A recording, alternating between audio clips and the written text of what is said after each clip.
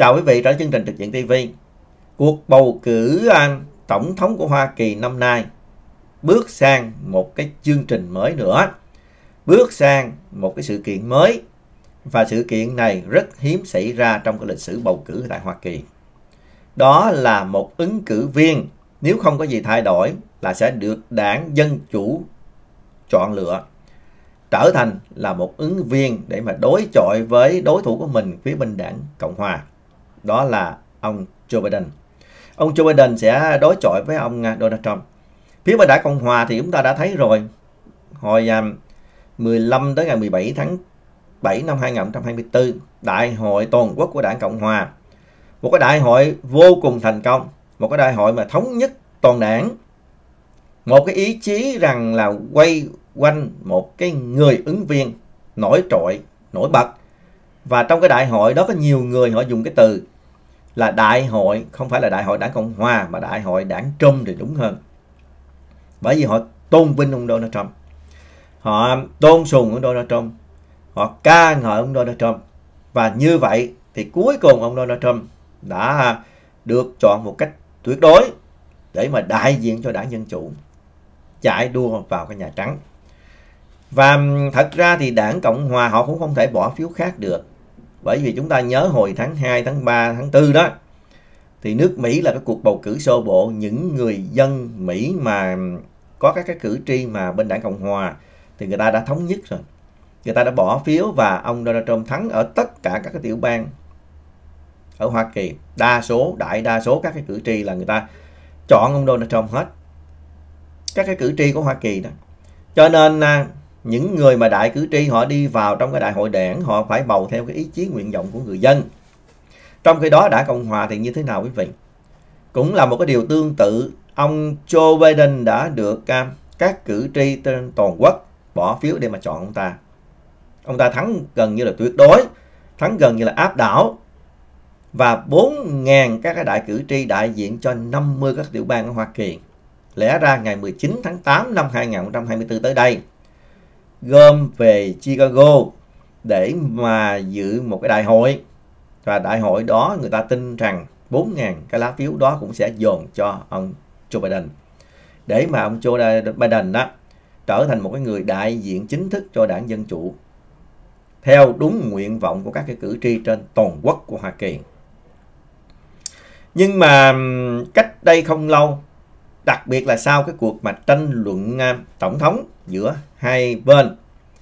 Ha, tranh luận giữa hai cái ứng cử viên tổng thống ở đài CNN thì à, giữa ông Joe Biden và ông Donald Trump thì lần đó cái biểu hiện của ông Joe Biden rất thấp kém.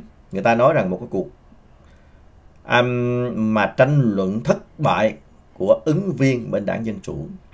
Và sau đó nữa thì những cái cuộc mà những cái hoạt động những cái hà những cái cử chỉ những cái lời nói và những cái quyết sách của ông Joe Biden cũng đã bị chỉ trích rất nhiều và nhiều người đã đặt ra vấn đề nghi ngờ về cái sức khỏe của ông Joe Biden. Người ta đặt ra vấn đề là ông Joe Biden có đủ sức để mà tranh cử tổng thống hay không? Hoặc là nếu mà có thắng cử thì ông Joe Biden có đủ sức để mà tiếp tục làm 4 năm nữa để mà ngồi trong cái vị trí là lãnh đạo của quốc gia của Hoa Kỳ hay không? do đó thì mà ngay cái sự mà đặt vấn đề đó không chỉ là những người phía bên đảng đối lập là đảng cộng hòa, mà là những người bên đảng dân chủ luôn trong nội tình của đảng dân chủ cũng đã đặt vấn đề trong đó có những người rất cao cấp, những người mà lãnh đạo đa số ở thượng viện của hoa kỳ, những người làm thượng nghị sĩ, những người là hạ nghị sĩ, và đến ngày hôm nay có ba hơn, coi như 32 người là hơn 10% trong cái quốc hội đó, ở phía bên đảng Dân Chủ, đã yêu cầu ông Donald Trump, yêu cầu ông Joe Biden chứ, không tiếp tục cái cuộc đua. Không phải là từ chức nha quý vị. Có khi thì chúng ta nói nhanh quá, chúng ta dùng cái từ từ chức thì không phải là từ chức, mà là từ bỏ cái sự tiếp nhận, cái sự đề cử của đảng Dân Chủ để mà mình trở thành là ứng viên tổng thống. Thì từ bỏ tức nghĩa là không tiếp tục cái nhiệm kỳ 2 thì um, họ đã áp lực rất là dữ dội bên cạnh các cái chính trị gia những cái lãnh đạo trong cái đảng của dân chủ ra thì còn có cái nhóm tài phiệt rất dữ dội, rất mạnh bạo. Nó cũng yêu cầu là phải dẹp đi. Nếu mà um, ông uh, Joe Biden tiếp tục ra ứng cử, nó sẽ không cho tiền. Nó sẽ không tiếp tục ủng hộ. Đó là cái điều rất là đặc biệt. Và trước những cái áp lực rất nặng nề đó, ngày hôm nay, có thể nói à, vào lúc khoảng chừng 11 giờ trưa nay đó, giờ của miền Tây Hoa Kỳ, thì có một cái bức thư có um, cái sự chia sẻ của ông Joe Biden ở trên cái trang mạng trang X tức là trang Twitter đó. Thì ông Joe Biden đã nói rõ cái ý định rằng mình muốn từ chức và cũng nói rõ ý định là mình sẽ đề cử người thay thế mình để mà tiếp tục cái cuộc đua đối chọi với ông Donald Trump. Đó là nữ tổng thống hiện thời bà Kamala Harris thì nội dung của cái bức thư này đó là thưa các thành viên của đảng Dân Chủ, của tôi tôi đã quyết định không chấp nhận đề cử và tập trung toàn bộ năng lượng vào nhiệm vụ của mình trên cương vị tổng thống trong thời gian còn lại của nhiệm kỳ. Quyết định đầu tiên của tôi với tư cách là ứng cử viên của đảng vào năm 2020 là chọn bà Kamala Harris làm phó tổng thống. Đó là quyết định đúng đắn nhất mà tôi từng đưa ra. Hôm nay tôi muốn bày tỏ sự ủng hộ và xác nhận hoàn toàn của mình dành cho Kamala. Để bà trở thành ứng cử viên của đảng trong năm nay, Tổng thống Biden cũng nhấn mạnh đã đến lúc đảng Dân Chủ phải đoàn kết lại và đánh bại ông Trump. Đến thời điểm này thì chúng ta có thể thấy được rằng là báo chí ở tại Hoa Kỳ gần như là đăng tải rất dữ dội về à, cái bản tin là ông Joe Biden. Ta dùng cái từ là drops out, tức nghĩa là không có tiếp tục từ bỏ cái cuộc đua đã không có tiếp tục nữa. Những cái tờ báo lớn thì bây giờ làm họ bình luận rồi họ đưa tin liên tục từ hồi trưa tới giờ khi mà có những cái thông tin này ra từ những cái tờ như CNN, những cái tờ như là The New York Times, rồi um, BBC News hay là NBC hay là Fox News hay là um, USA Today rồi um, The Washington Post rồi nhiều lắm. Tất cả đều đưa cái bản tin này và người ta gọi là live update, tức nghĩa là bản tin liên tục liên tục liên tục được cập nhật. Và họ bình luận rất là nhiều thứ. Thí dụ như là họ bình luận là cái người nào sẽ thay thế khi mà bà Kamala Harris thì um, nói rằng là sẽ uh, tiếp nhận hay là không? Và nếu mà tiếp nhận như vậy thì người ta nói rằng bà Kamala Harris có um, có khả năng để mà thắng cử hay không? Rồi người ta còn bàn đến là rất nhiều những cái người khác nữa. Thí dụ như là những cái người um, thống đốc của tiểu bang California chẳng hạn. Ông um, Newsom người ta cho rằng ông Newsom như thế nào? Cái khả năng cơ may có đủ sức để mà đánh bại ông Donald Trump hay không? Thì đảng Dân Chủ có thể nói rằng trong mấy ngày vừa qua thì họ rối bời. Họ rối bời. Đặc biệt á, cái đỉnh điểm của nó là khi ông Donald Trump bị bắn những cái viên đạn mà bay sợ ngang cái um, cái tai đó quý vị. Cái vành tai đó có thể nói làm cho làm cho nước Mỹ nó đi hai cái ngã rẽ. Và một cái chiến thắng gần như là tuyệt đối dành cho ông Donald Trump. Chúng ta thấy à, những cái à, bài viết đó bây giờ được đăng liên tục. Thông tin cũng nói rất nhiều. Họ nói về à, cái việc là ai sẽ thay thế người nào có khả năng. Và như vậy thì à, bà Kamala Harris thì một người không có xa lạ gì với Việt Nam nha quý vị. Và ta đã từng về Việt Nam đã từng đi đến Việt Nam và một trong những cái người nữ tổng thống đặc biệt là đến trong cái lúc mà Covid-19 đây là hình ảnh à, có thể nói rằng à, cũng tạo ra cảm tình rất nhiều đối với người Việt Nam. Lần đó bà ta tặng một triệu các liều vaccine. Và cũng tuyên bố là ủng hộ cho Việt Nam giúp sức cho Việt Nam về cái vấn đề thịnh vượng và cũng à, cam nhắc lại một cái cam kết đối với Việt Nam. Và cũng à, đưa ra một kế hoạch hợp tác để mà cùng nhau vượt cái đại dịch. Có thể nói là bà Kamala Harris và một cái người của đảng Dân Chủ, cái người ở tiểu bang California. Bà này thì à, trong đảng hay là báo chí thì họ không có à, đánh giá cao cho rằng là những cái hoạt động cũng khá là mờ nhạt đặc biệt là trong hai cái năm đầu trong cái nhiệm kỳ là phó tổng thống mà thật ra đối với Hoa Kỳ đó phó tổng thống gần như không có cái gì nổi bật cả nhiệm vụ của phó tổng nhiệm vụ của tổng thống là gần như là bao trùm hết. Làm hết họ gần như không có quỹ quyền gì cho phó tổng thống đâu. Ê, hiếm lắm. Rất hiếm những cái trường hợp mà phó tổng thống có cái có những cái quyền hành gì.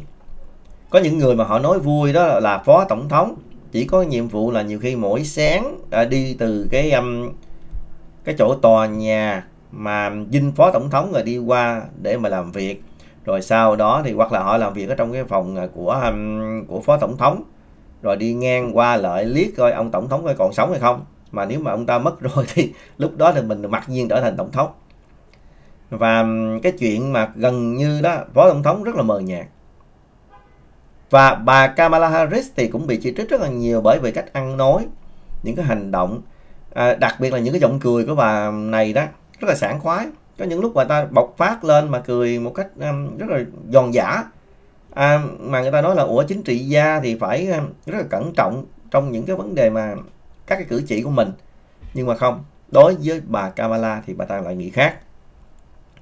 Thì có thể nói đến bây giờ đó báo chí Mỹ rần rầm rầm rộ đưa tin.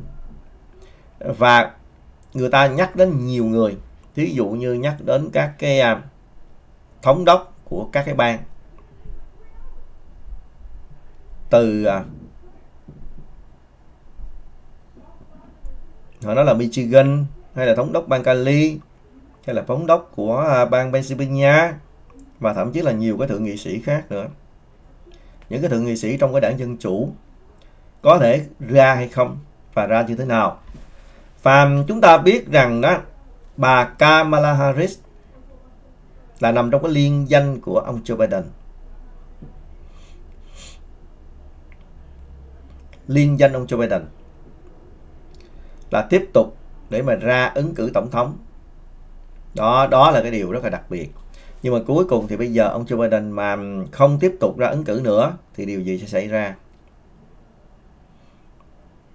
Có ủy quyền hay là có giao lại cho bà Kamala được hay không? Hay là giao lại cho người khác hay không? Và người khác được đề cử có tiếp tục sử dụng cái đồng tiền đóng góp của người dân cho ông à, Joe Biden để mà cho người khác hay không tất cả những điều đó là những cái câu hỏi mà chúng ta thấy rằng á, qua cái vụ việc này nó mới lòi lên một cái vấn đề là vấn đề cuộc bầu cử của Hoa Kỳ Cuộc bầu cử của Hoa Kỳ đã được ca ngợi lên tận mây xanh là một cuộc bầu cử um, dân chủ là ước mơ làm tổng thống là tất cả um, mọi người và không ai có cái quyền để mà can thiệp. Và nói rằng ở nước Mỹ là do dân quyết định, ý dân là ý trời, dân chọn người nào thì người đó sẽ làm tổng thống. À, dân chọn người nào thì người đó sẽ làm quan. Nhưng mà trong cái vụ việc này chúng ta thấy là ý dân đâu có đâu quý vị. Dân là người ta đã bầu sang 50 cái tiểu bang hồi thời à, hồi thời tháng 2 tháng 3 tháng 4 họ đã chọn rõ ràng là ông Joe Biden sẽ làm ứng cử viên tổng thống. Và ngay cả trong suốt khoảng thời gian đó, đó cho đến ngày hôm nay người ta đóng góp cho cái quỹ tranh cử của ông Joe Biden là vì họ muốn ông Joe Biden trở thành tổng thống, tiếp tục làm tổng thống một nhiệm kỳ nữa.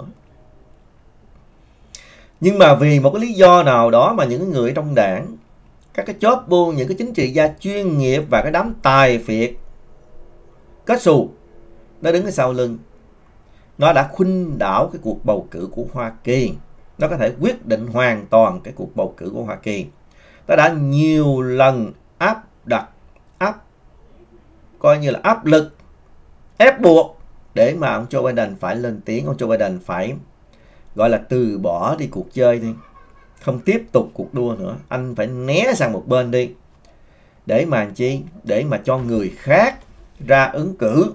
Họ sợ rằng ông Joe Biden ra đó với cái hình ảnh à, già nua, yếu đuối, bệnh tật, nhếch nhác quá, rồi nói lẩm cẩm quá, sẽ bị thất bại. Người dân Mỹ họ sẽ chán trường rồi họ chán lây luôn cái đảng Dân Chủ và họ sẽ bỏ phiếu cho thua luôn những cái người ứng cử viên trong cái quốc hội của Hoa Kỳ Điều đó có nghĩa rằng là đảng Dân Chủ đứng trước một cái rủi ro là mất trắng quốc hội luôn, mất trắng cái nhà trắng luôn. đó là cái diễn cảnh mà họ không bao giờ họ muốn cả cho nên là đảng Dân Chủ phải làm mọi thứ và họ tạo áp lực trong suốt mấy tuần lễ vừa qua, đặc biệt là hai tuần lễ gần đây, liên tục quý vị. Cho nên chúng ta mới thấy được rằng ông Joe Biden rất là đáng thương, đáng tội nghiệp bởi vì ông ta đã nhiều lần nói rồi.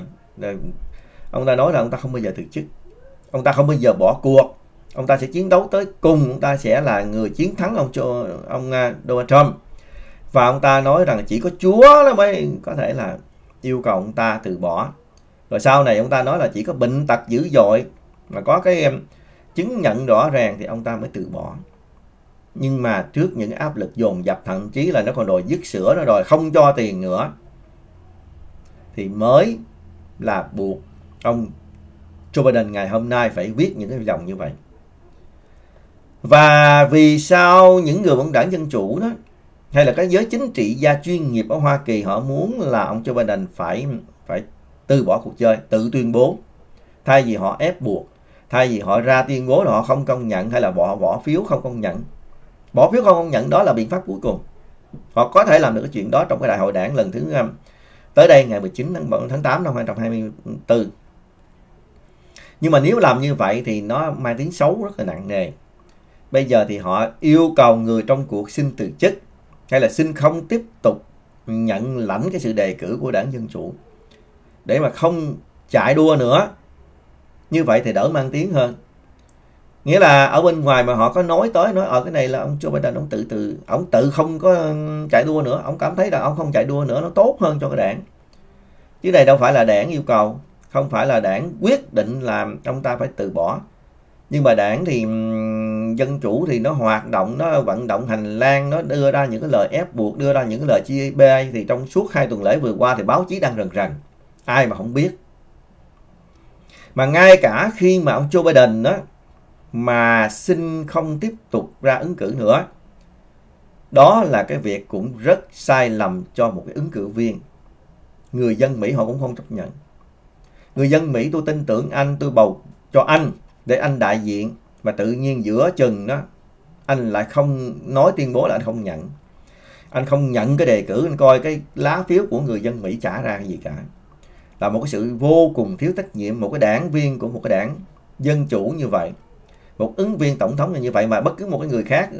Mà cũng làm như ông à, Joe Biden thì những cái cuộc bỏ phiếu ở 50 tiểu bang có ý nghĩa quá gì? Cái nền dân chủ của Hoa Kỳ cần phải xem lại chứ.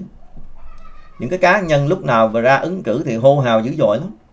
Hô hào là đấu tranh um, bảo vệ người dân bảo vệ nước Mỹ thịnh vượng đồ bảo vệ rồi đấu tranh với các quan điểm của đảng đối lập.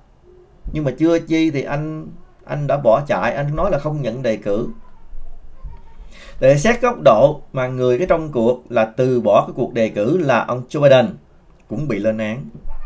Bởi vì đó là ý dân chứ không phải là ý của anh. Còn anh nếu ngay từ đầu đó mà ông cảm thấy là không đủ sức, không có chạy đua nữa thì thôi, ông né sang một bên. Ông đừng có chạy cái vòng nhiệm kỳ thứ hai nữa. Mà chạy nữa chừng lấy phiếu của người ta đã, xong rồi đi bỏ cuộc. Đó là cái thứ nhất. Mà trong lúc á có người nói ông này lẫn ông này bệnh ông này ừ, là coi như không đủ sức khỏe. Nhưng mà bác sĩ vừa qua cách đây 3 ngày họ khám là nó ông Joe Biden là bình thường không có vấn đề gì cả. Chỉ có một cái là dương tính với Covid 19 thôi. Vô Covid-19 thì vài bữa thì hết thôi, ai cũng đã như vậy thôi. Cho nên là cái việc mà kết luận đó mà đảng Dân Chủ ép buộc thông qua nhiều hình thức để rồi ông Joe Biden phải ngồi xuống làm những cái ừ, cái động thái là viết cái đơn. Viết một cái thư và cái thư đó chúng tôi tin rằng nó ngoài ý muốn của ông Joe Biden. Ông Joe Biden thực sự không có muốn như vậy. Bởi ông ta đã ít nhất là ba lần từ chối không chấp nhận cái việc mà ông ta rút lui. Ông ta không chấp nhận rút lui. Thì đó, nói dông dài một vậy để mà chúng ta thấy được rằng cái nền dân chủ của Hoa Kỳ, cái cuộc bầu cử này đó ở nước Mỹ nước Mỹ là xứ tư bản rồi quý vị. Mọi thứ là nó quyết định bằng đồng tiền hết. Những cái nhà tài phiệt mà ủng hộ cho các ứng cử viên, họ hoàn toàn có thể chi phối. Có thể không hoàn toàn họ quyết định. Nhưng mà họ chi phối rất nặng nề. Họ mà không cho tiền thì lấy gì đậu? Có tiền thì không phải là quyết định cho cái việc đậu hay là không đậu. Nhưng mà không tiền thì nó có thể quyết định cho cái việc rớt chắc đặc biệt là những cái vị trí càng cao. Càng cao càng cần rất nhiều tiền. Nói thẳng là như vậy luôn, bởi vì cái cuộc bầu cử ở Mỹ là cuộc bầu cử, nó là như thế. Nếu mà nói về tài năng, về đạo đức sẽ quyết định được làm người nào sẽ được chọn, không phải như vậy. Tài năng, đạo đức, nhưng mà họ lại không có tiền thì họ cũng thua thôi. Chứ không phải như những cái kẻ mà họ tân bốc mỹ đế và lúc nào họ cũng cuồng mỹ đế, đến đổi là họ nói rằng ở nước mỹ, với cái bầu cử tự do này, lúc nào cũng chọn người giỏi, người có tâm, người có đạo đức. Không phải đâu. Cái đám mà nó sử dụng à, mua mưu mô trước quỷ đó mưu ma trước quỷ nó vào, nó đậu ở các cái dân cử rất là nhiều. Bởi vì nó có một cái nghệ thuật, nó có một cái xảo thuật. Nó có những cái ma mảnh, những cái chiến lược để mà nó giành phiếu. Thậm chí là nó rất là có vấn đề. Và cuối cùng thì sao? Có những kẻ lừa dân nhiều hơn mỹ dân nhiều hơn thì lại là đắc cử. Còn những cái kẻ giàu có, những cái kẻ có thế lực thì lại lúc nào cũng vượt trội hơn những cái kẻ mà không có tiền.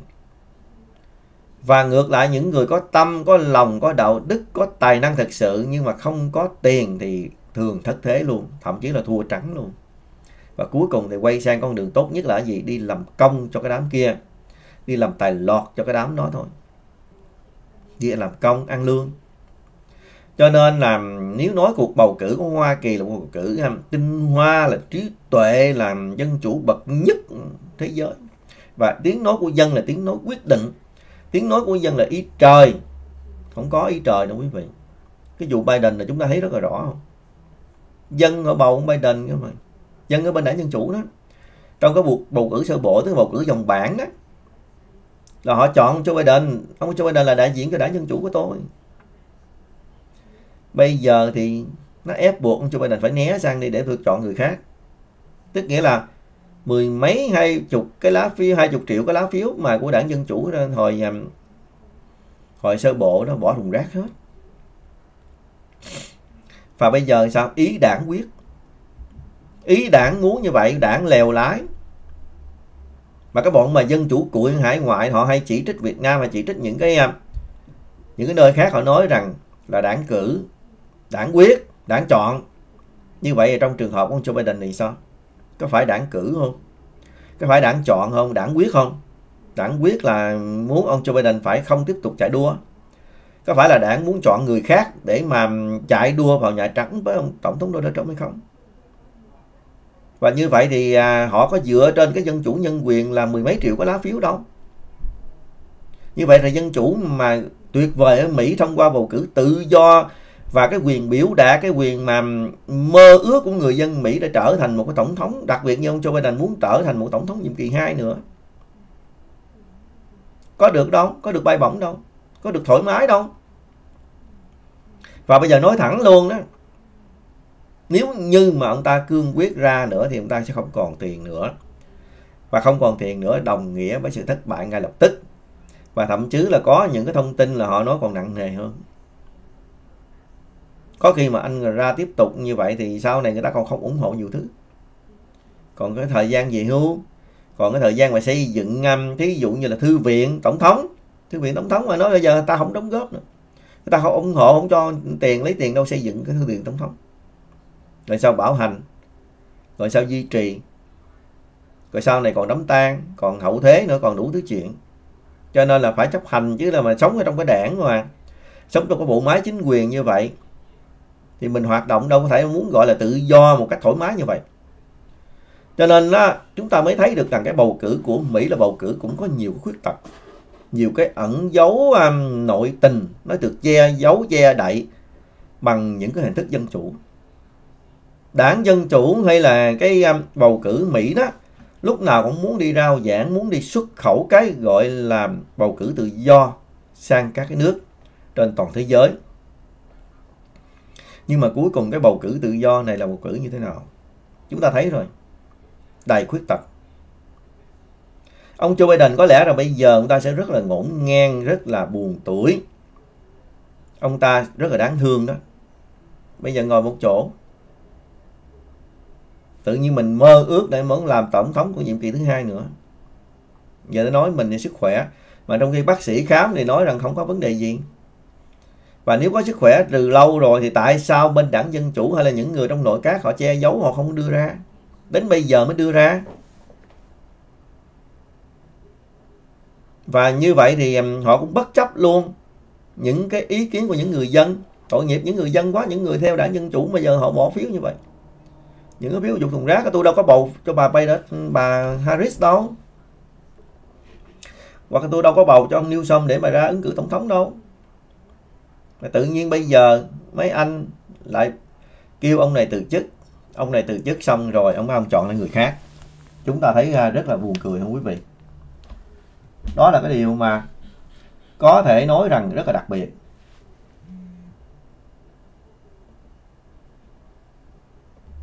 Cho nên chúng ta mới thấy được cái nền dân chủ của Hoa Kỳ rất là rối rắm nha quý vị. Càng lúc nó càng lộ ra nhiều cái chiêu trò. Nhưng mà có bạn đặt ra vấn đề là bà Kamala Harris á, có phải là được chọn hay không? Thì xin thưa là cũng chưa đâu nha. Cũng phải thông qua cái đại hội đảng thôi. Đại hội đảng là sẽ diễn ra vào à, ngày 19 tháng 8 năm 2024 tới đây.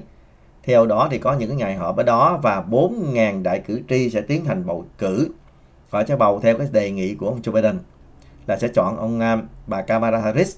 Và khi mà bà Kamala Harris mà được chọn thì bà ta cũng sẽ chọn cái cái người để mà làm phó cho mình. À, và người ta cũng sẽ um, sẽ quyết định những ngay tại cái đại hội đó luôn. Và nếu như mà 4.000 các cái đại cử tri của um, phía bên đảng Dân Chủ tại cái đại hội mà người ta bỏ phiếu đó mà không thông qua được sẽ chọn à, quá bán bà Kamala đó thì chắc chắn là có thêm 700 các cái siêu đại biểu của đảng Dân Chủ sẽ nhảy vào để mà bỏ phiếu. Và khi đó thì um, người ta sẽ bỏ phiếu hoài bỏ phiếu nhiều vòng bỏ phiếu liên tục để mà cuối cùng mà có cái người nào mà đạt quá bán thì thôi. Và cũng có thể rằng tại đại hội sẽ có những cái người khác nữa. Thí dụ họ giới thiệu vào ứng cử viên là thống đốc của Michigan thống đốc của Pennsylvania thống đốc của um, thí dụ California hoặc là những cái ông hạ sĩ, thượng sĩ nào đó, thí dụ như vậy. Họ vẫn có thể ra ứng cử và quyết định là vẫn là do đại hội họ quyết định. Chứ còn nói tới thời điểm này cũng chưa chắc chắn. Và ngay trong cái thời điểm này đó, khi mà báo chí của Hoa Kỳ đã đồng loạt đưa những cái bản tin, thì họ cũng bình luận rất là nhiều. Trong đó cũng có rất nhiều những cái lời chê nha quý vị. Chê bà Kamala Harris, chứ không phải họ khen không đâu. Họ nói cái người đàn bà mà 59 tuổi này cũng có nhiều cái vấn đề lắm nhiều cái à, khiếm khuyết lắm.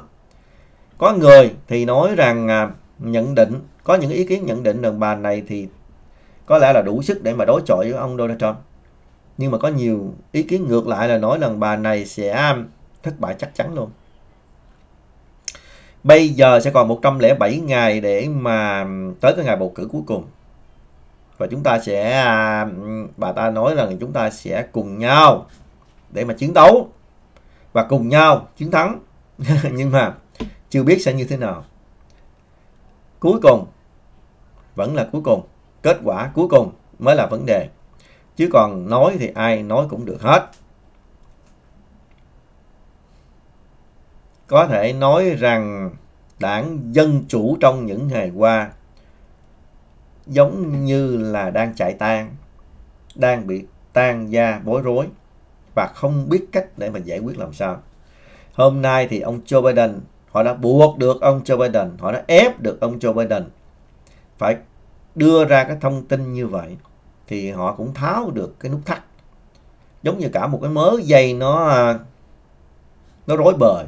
Bây giờ những cái nút thắt quan trọng nhất đã được thắt ra, được mở ra rồi. Và cái điều đó nó sẽ có mở đường cho đảng dân chủ phục hồi hay không thì chúng ta chưa biết là đảng dân chủ có thắng cử trong cái lần bầu cử này không chúng ta chưa biết.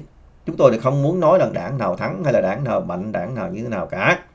Chúng tôi chỉ muốn nói rằng cái nền dân chủ của Hoa Kỳ cái tự do bầu cử cái đám mà dân chủ cuội um, mà nói tiếng Việt ở tại Hoa Kỳ này cái đám youtuber mà lúc nào cũng mở miệng là Mỹ đế hạng nhất này kia nó chỉ trích các cái chính quyền khác. Chỉ trích nước um, Việt Nam hay là những nước Trung Quốc những nước khác là đảng cử đảng quyết này kia nọ thì bây giờ ai quyết? Bầu cử Mỹ ờ, vừa qua đối với ông Joe Biden, ai quyết? Đảng không quyết hả? Hay là tài phiệt quyết? Và bầu cử Mỹ hay là bầu tiền? Hay là tiền bầu hay là dân bầu? Thế lực bầu, thế lực chính trị nó quyết định hay là người dân quyết định? Người dân Mỹ cuối cùng cũng đâu có bầu cử trực tiếp tổng thống đâu. Ai mở miệng ra nói người dân Mỹ bầu cử trực tiếp tổng thống? Người dân Mỹ chỉ là bầu cử qua các cái ứng viên thôi nhiều cái lá phiếu coi, coi như đâu có tác dụng gì đâu. Chúng ta nhớ kỹ coi. Bà Kamala Harris là phó của ông Joe Biden. Trong cái liên danh lần trước trước đó thắng cử thắng cử làm à, trên các cái đại biểu ở các cái tiểu bang. Có nhiều cái trường hợp đó những cái liên danh thắng cử tổng thống thì um, thua luôn cái số phiếu đại cử tri thua luôn cái số phiếu của những người dân bầu. Thí dụ như cuộc bầu cử của ông tổng thống Bush Bush con đó, với ông Al Gore là bên đảng dân chủ khi đó. Ông Al Gore là đã đạt cái số phiếu là người dân Mỹ bầu ông ta nhiều hơn. Nhiều hơn mấy triệu phiếu đó. Nhưng mà ông ta vẫn rớt. Bởi vì cái cách bầu cử của Mỹ là thông qua đại cử tri. Cho nên là đại cử tri mà ít hơn cuối cùng thì ông Al rớt rồi ngược lại trong cái cuộc bầu cử của bà Hillary Clinton cũng vậy. Đối với ông uh, cựu tổng thống Donald Trump. Kỳ đó bà Hillary cũng đạt cái số phiếu mà dân bầu nhiều hơn rất là nhiều. Mấy triệu phiếu nhưng mà bà ta vẫn rớt rớt một cách thê thảm. Rớt một cách tức tưởi. Điều đó cho thấy rằng người dân Mỹ đại đa số bầu cho một cái người nào chưa hẳn người đó là trở thành tổng thống bởi vì sao? Cái lá phiếu của họ đâu có mang tính chất quyết định đâu. Mà nó quyết định bằng cái hình thức nó qua trung gian, qua các cái đại cử tri, cũng là bầu gián tiếp thôi.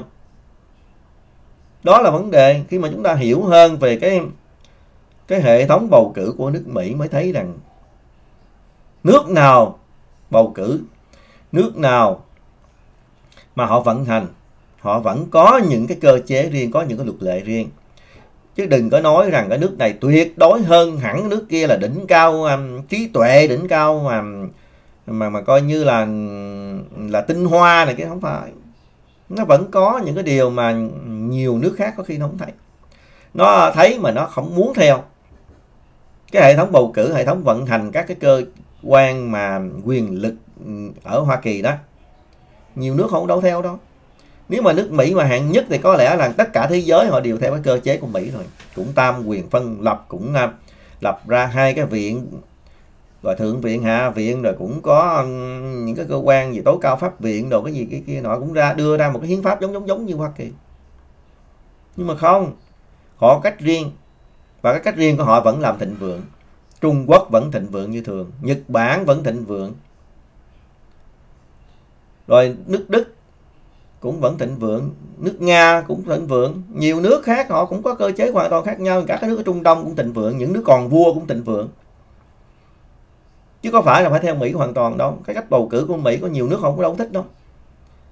Bầu cử mà các cái ứng cử viên phải chạy lăn xăng lăn xăng rồi phải đi xin tiền đủ thứ hết rồi nhận tiền của cái đám tài phiệt, phải cúi đầu nghe lời của tụi nó để mà nó khai, sai khiến. Hoặc là phải làm theo cái hướng có lợi cho nó. Như vậy thì còn cái gì nữa?